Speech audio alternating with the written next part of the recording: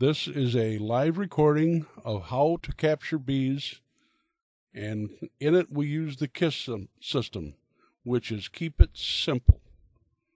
This was done by a professional who is very well acquainted with doing bees. You may feel more comfortable by putting on the safety gear, which we will go over later. The first segment is taken at Candela's uh, this is a vegetable stand out on Route 49 in Marcy, New York. And this swarm of bees actually shut him down in that area for several hours, trying to get someone to come in and take them out. In it, you will see how easy it is to pick up bees. The equipment is very simple.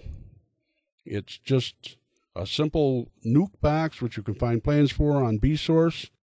There are drawn comb in frames in the box. There is a pheromone lure that you can buy from any bee supply house.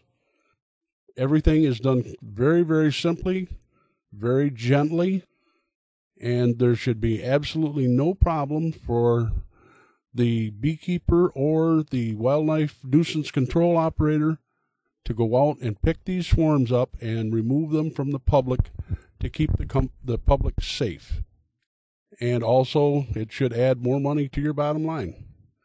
Here we go on the on the uh, removal. Now you can see that I am moving the bees with a piece of plastic comb and actually bringing them up to the hole in the box.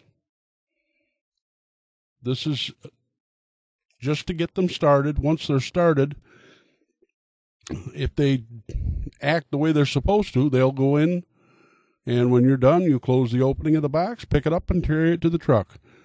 Uh, watch the program. If you have any questions, you can always contact me.